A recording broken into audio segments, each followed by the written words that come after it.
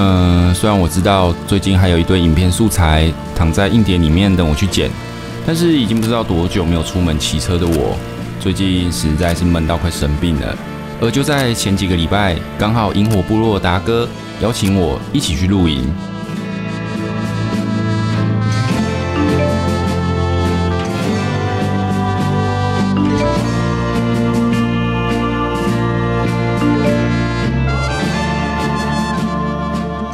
在达哥热情的邀请下，想当然要拒绝他，对我来说真的非常的困难。而我为了表现出我真的很认真在剪片的样子，所以当下跟他说：“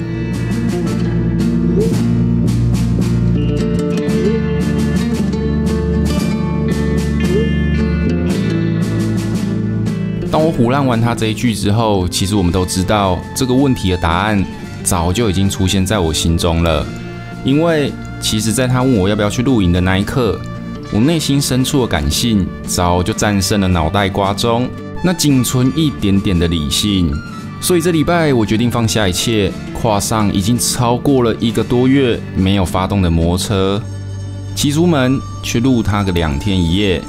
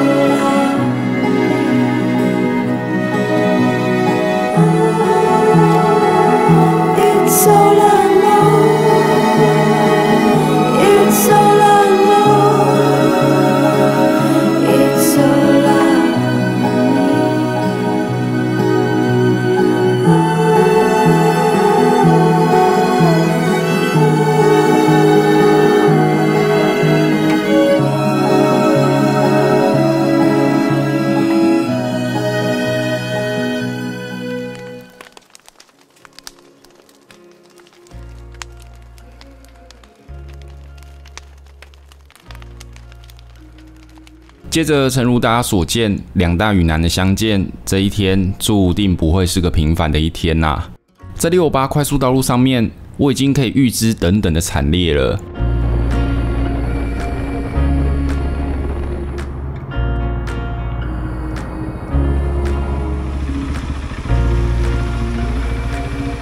到全联准备采买食材的时候，连老天爷都在为我们的相遇喝彩。整片乌云在我们头顶上。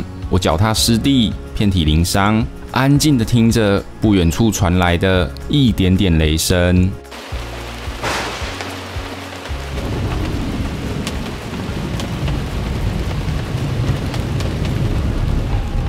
与男与与男之间，就是这么的无与伦比。虽然早已全身湿透，不过在看到达哥之后，我还是非常开心的。在全年才买完这两天的食材，鱼也慢慢变小了，我们也准备启程了。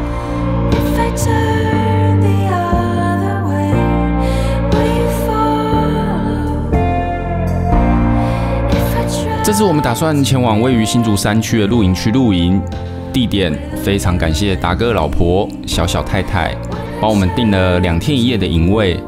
沿着一二二线道，我们终于准备进入这个不知道多久没有进入的山林之中了。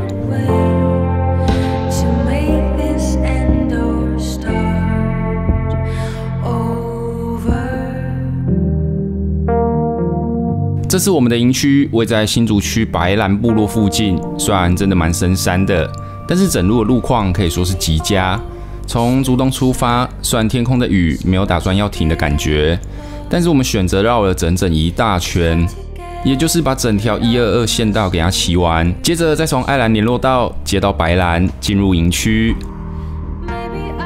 而这段路则是达哥带我们骑的。在这之前，我对达哥的印象就是他好像都是开车去露营居多啦，所以我对于他愿意带着我们绕这一大圈，真的是非常感激。因为如果在山下就超捷径上山的话，我想对我们来说反而会骑得很不够。而在离开了一二线道之后，我们也开始穿梭在羊肠小径之中。刚刚的雨势也让这一整片树林都还处在一个湿漉漉的状态，甚至山岚也不时出现在我们的周遭。越往下骑，就越只剩下一个感觉，有够仙的啦！我想这条爱兰联络道前往的最好时机，不是大太阳的时候，也不是傍晚的黄金时刻，而是像今天这样下完雨的午后。正值大暑的季节，原本闷在皮肤上的汗水，早就被雨水的凉意带走了。为了欣赏这周遭的景色，这一路上我们真的骑得很慢。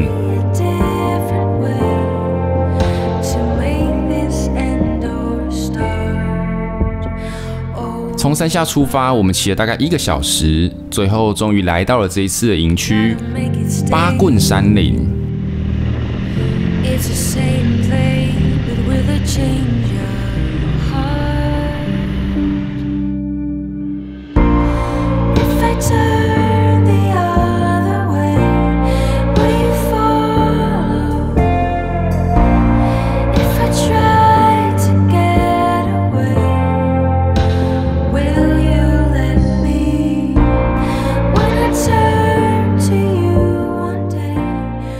新竹五峰乡白兰部落附近的八棍山林露营区，一进入，你马上就能感受到满满的芬多精。营地四周被杉木林包围，同时种植了很多五彩缤纷的植物，给我的第一个印象就是一个充满活力的露营区啊！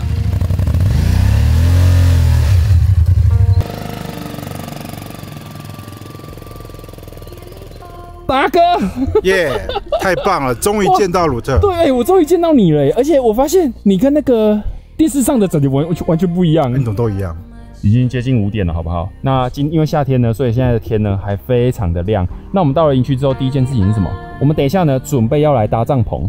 搭什么的帐篷？这一次我们除了跟达哥来露营之外呢，我还用了达哥的东西，手把手教鲁特搭 campfire。我真的是非常的感动哎，有这个前辈，然后又教我又教我搭帐篷，这个服务好，真的不错。一起睡，一起搭。那那那我们录完这，别人跟你睡，别人跟你睡，我 我不要跟你睡。我们先不要聊，因为我们等一下呢，我们等一下要晚餐，然后我们还要弄一大堆有的没的，所以我们现在先来搭帐篷，不然等一下时间就太晚了。走哥。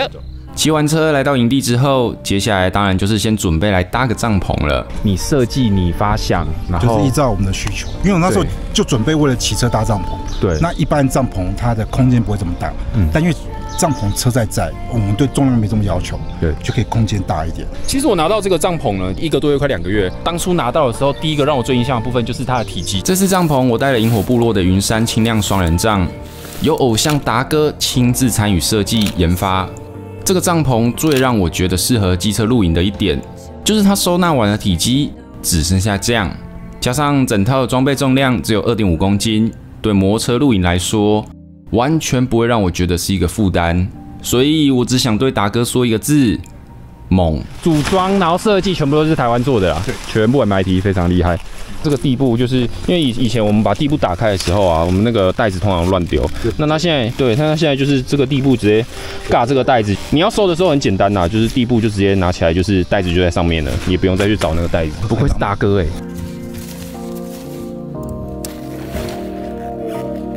哎，你有种跳出画面的感觉哎，就是你跳出了那个电脑荧幕。因为我之前看你搭，我都是在电脑荧幕上面看到的。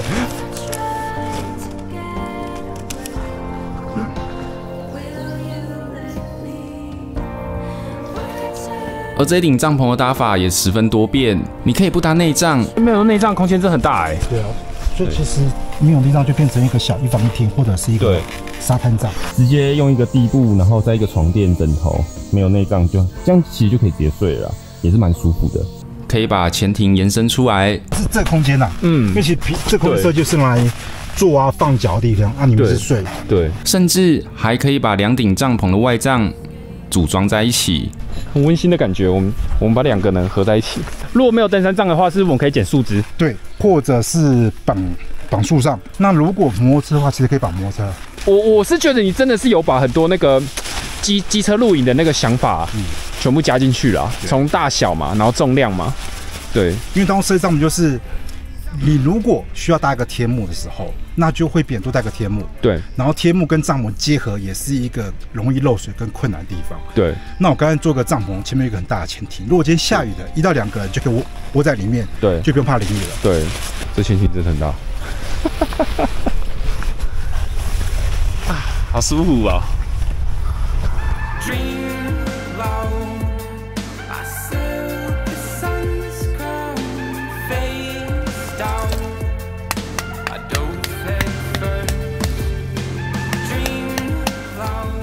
有虫也没没没什么关系啊，反正我澡也没有怎么在洗了。搭完了帐篷，现在我们在搭这个烽火台，挺 fire。之前大哥呢，就是给我这个。嘿，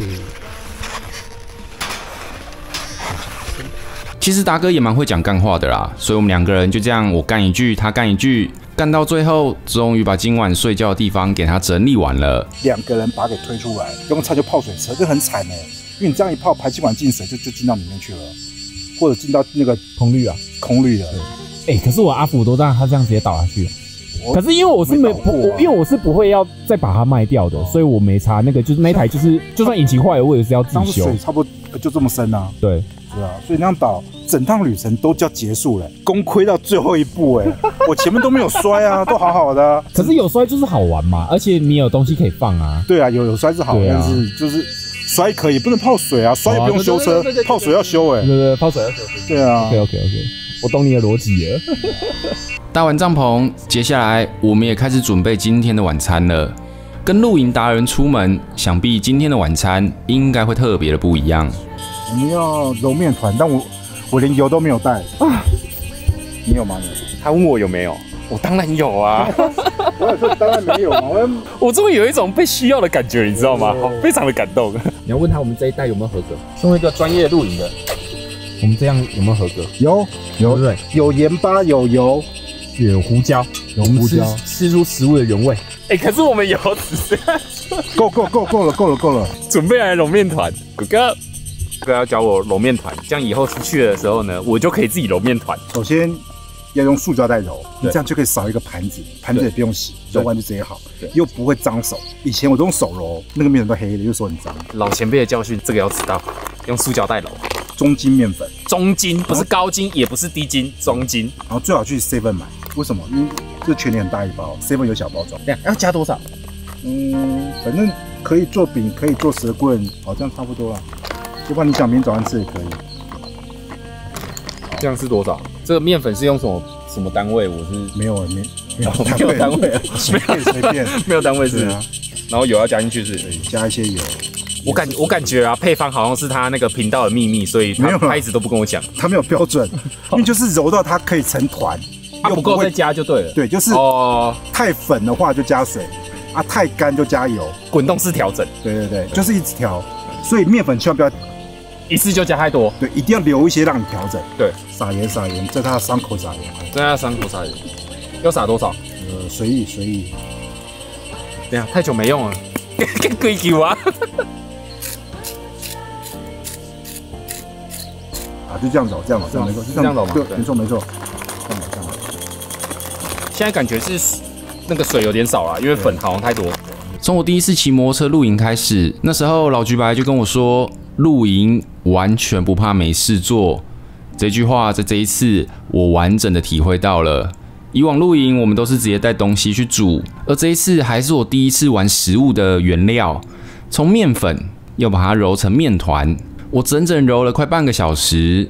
我是不知道等等烤起来它到底会变成面包还是饼干。不过对我来说，这个在玩它的过程才是让我觉得有趣的地方啦。啊，那那它防蚊的部分是从哪里散发的？没有，它没有散发任何的你说就造型而已。它就是七敌，这是一个蜻蜓的模型，但日本人说蜻蜓的模型可以让蚊子不要靠近，因为蜻蜓吃蚊子。小蜻蜓，我们今天晚上就交给你了哦。现在手其实有点酸，反正我就是一直揉，然后揉到它最后一定变一团，这样就好了。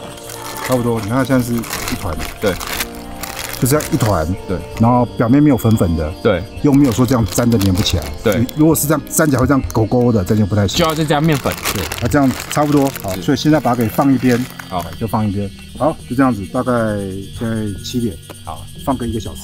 放要放一个小时没有，要放所以要放到八点啊。对，好，我们现在来生火。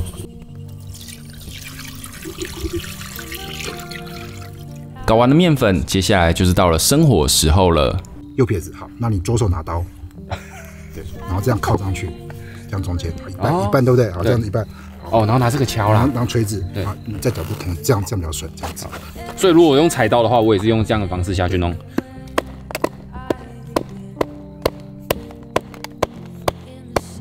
你确定我成功吗？有有有，快快快快快！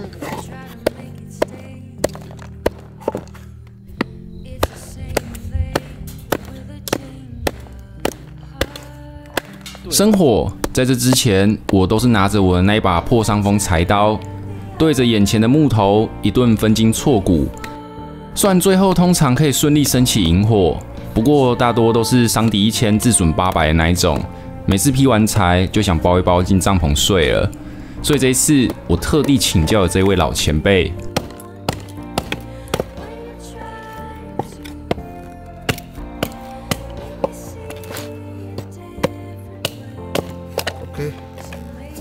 多了。这个是松木的心，对叫松明，就是一个有油脂的松木。对，然后呢，我们先换一把比较小的刀，对。用这把刀，欸你到底带多少刀啊？一般就是长短两把就可以了。这这是这是挂在脖子上的。哦，蛮好拿的对，蛮好拿的。那我们现在做的事情是，来，你先戴手套，避免割到自己。好，我们把这木头呢要洗削成花，对这样顶住这样木头不动。嗯然后刀子下去之后呢，下去，然后平平平的。嗯，然后诀窍是手臂整个伸直，对，用肩膀出力，好才不会突然这样子冲出去，然后刀可以斜一点。好。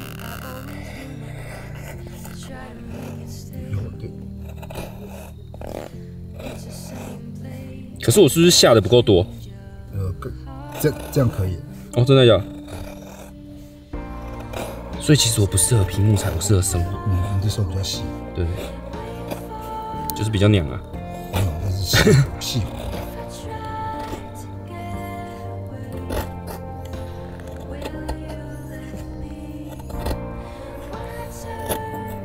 好，这样差不多。等一下就要准备生火，所以我们先把木头给摆一摆。我习惯会先把最大那一根摆在底下，对，它变一个平台一个底。等一下我们这样做，首先我们把刚刚在刮的木屑，对把它给集中下来。然后呢，这一根对不对？嗯这样刮，嗯，削更多的木屑。好，大概刮一个这么大一把。好。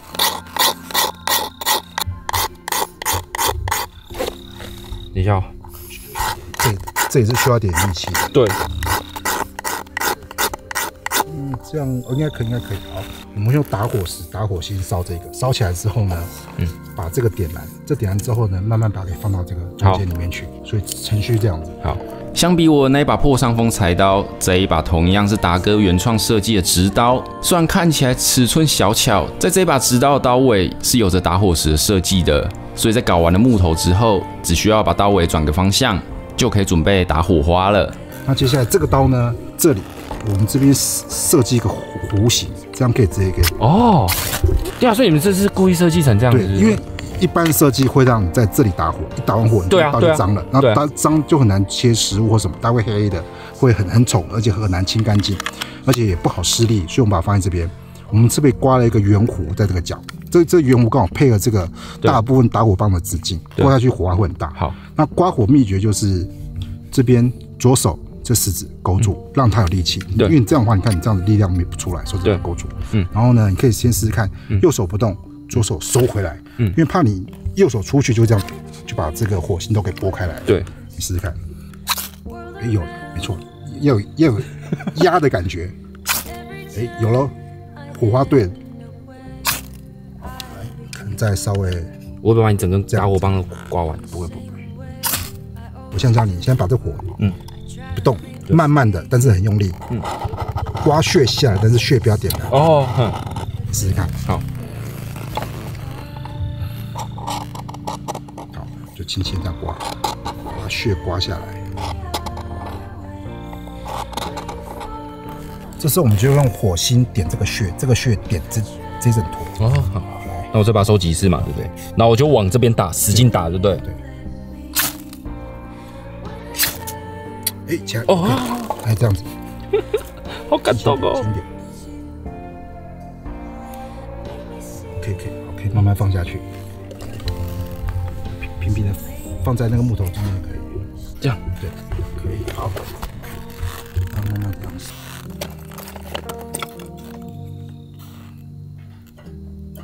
天才的诀窍就是火小的时候丢小柴，火大的时候丢大柴。哦对。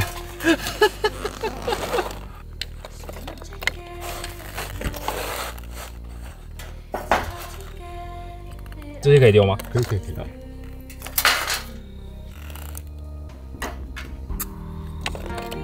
虽然是个大暑的季节，但是因为这个营地的海拔超过一千两百公尺，晚上的气温也蛮低的，所以在升起萤火之后，反而觉得蛮温暖的啦。同时也更有露营的气氛。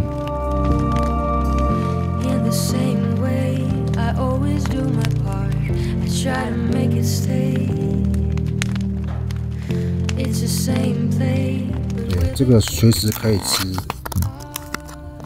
这是这是达哥推荐我们在全年买的这个卤味拼盘，猪头皮，然后有的没的，超推，超他说超推，嗯好赞哦！现在住什么吉什么米？吉利米啊，跟大家介绍一下，这是我们去南非啊回来的时候带的这个么 Serena 嗯 Cos Cos 要不然弄变了，Original 原味的五百克，你知道多少下去啊？总共这样？我不知道，我根本不知道怎么弄。我哎、为什么它会为什么它会变成这样？让他们达哥刚一看到这个啊，他就说他不想要吃了。先放酱是不是？对，我看一下哦。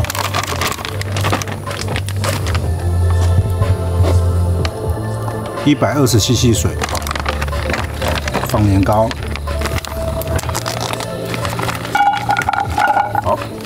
后再放酱，这我觉得很方便，然后它又不用动。嗯，感觉出来。你喜欢吃韩国料理吗？哇，常吃吗？不常吃。对我，们家蛮常吃的，哦，真的呀就。吃韩国炸鸡啊，韩国年糕啊。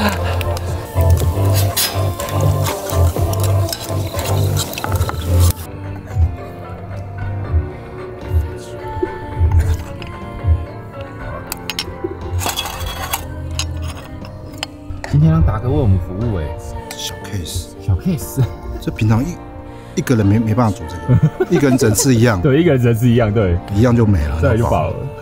多人才可以吃这么多人，这样很棒。对，你说这道菜叫叫什么名字？泡菜、泡菜、日式年糕、辣酱、辣酱、豆腐、豆腐锅，对，锅。呃，哦，我以为我以为你是在介绍食材，没想到这是他的名字啊。应该应应该是这样，应该是这样的。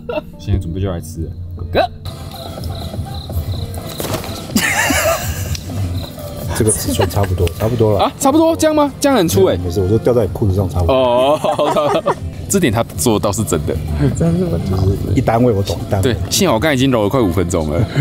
就是边缠边给它给缠缠上去。嗯，像这样，先捏一下，然后这样子缠，这样子，哦，好，就再细一点的，所以我要拉嘛，对不对？你可以稍微拉，就是看它拉会不会断，就是拉它可以延伸，但又不拉太细，好，再密一点，这样就太太长，密一点密一点，好，哇，惨了。把它给压扁，好，因为它让它不会滚。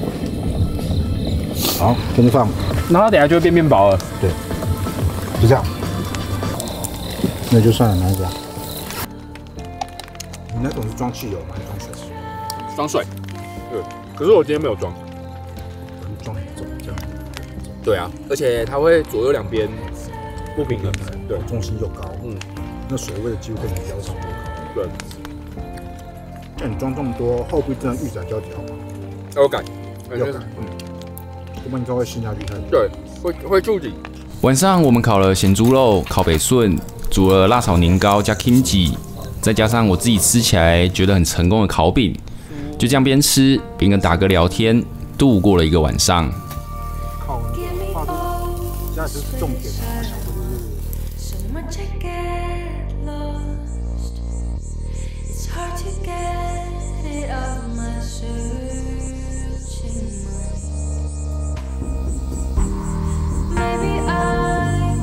一早起来之后，冲了个舒服的热水澡。我觉得八棍山林这个露营区真的是一个很赞的营区，浴室干净，完全没有脏乱的痕迹。重点是洗完走出来之后，你又会被分多金给包围，真的非常的舒服。早上冲了个澡之后，接下来也准备来搞个早餐了。各位早安，现在我们人刚起床，然后昨天睡得算还不错啊。因为通常呢，在露营睡觉的时候呢，只有我吵别人，没有别人吵我，所以我觉得昨天晚上在睡觉的时候，我是一觉到天亮的。但是真正的刚才跟我说，他要早上才睡着。大哥老赵，然后看你一副现在做着城市的样子，应该也是昨天被我吵到不行吧？没有，你的模样真的跟虫叫声很像，哦，真的假的？真的很嘎嘎嘎嘎。所以这算是一个，这算是一个白噪音，褒义耶，褒没有白噪对啊，声。没有贬义耶。不过我发现我们搭的位置不太好，刚好因为太阳，因为刚我们应该要搭后面一点。等一下呢，要交给我们这个达大厨了。交给我，对，达大厨，你们负责把它吃完。没问题。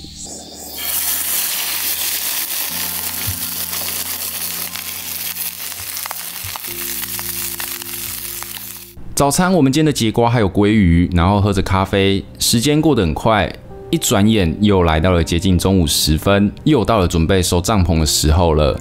我们刚刚吃完了达哥煮的爱心早餐之后呢，又到了最悲伤的时刻。我们现在开始要收帐篷了，实在是有点不太想要收啊。刚刚我还跟珍珍在讨论说呢，要不要再多留一晚。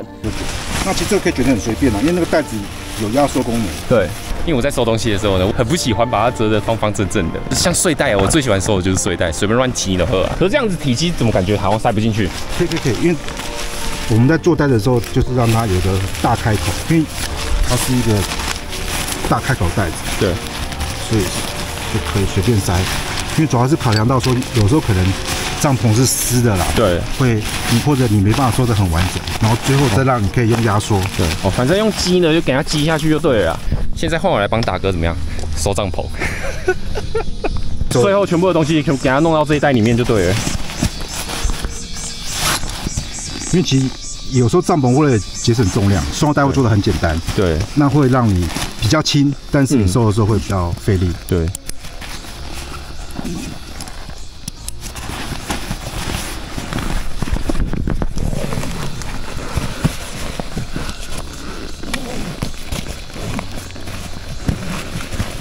你也是把它吹到很紧绷哎。对啊，我们现在呢，已经把我们的东西全部给它打包上车了。这次呢，我真的要非常感谢达哥，感谢你愿意花时间教我这个菜鸡录影呢，因为我还是一个名副其实的菜鸡哎。一次让你变老手。对，一次让我变老手哈。有经过这次看到你的装备还有你的东西之后，我我我深深的觉悟了。收完帐篷，时间也超过十二点了。可是就在这个时候，可能是因为我真的太久没有骑橘白了，放着放着就直接给它放到没电了。所以呢，很抱歉，达哥第一次跟我出门就要让他帮我推发。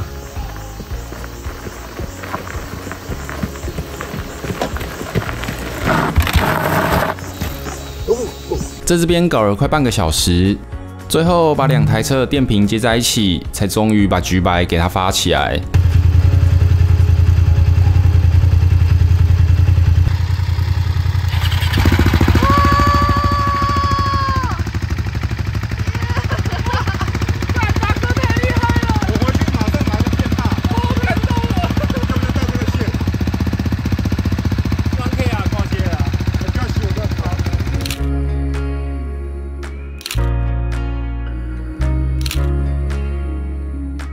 第一次跟达哥出门，就让他跟我这样搞，还真的蛮对不起他的啦。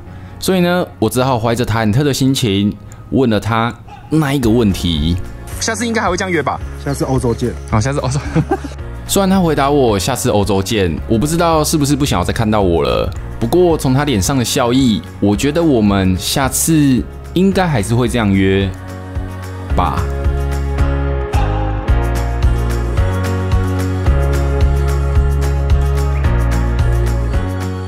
这次跟达哥出门，我就有学到了蛮多东西的，从面粉到面团，木头到木材，木材再到木屑，同时也请教他很多关于经营频道的问题。虽然昨天我们是匆匆的来，匆匆的搭帐，甚至一觉醒来之后，只觉得自己好像做了个梦，但是我相信下一次一定还可以再揪到达哥一起骑车或者是露营的。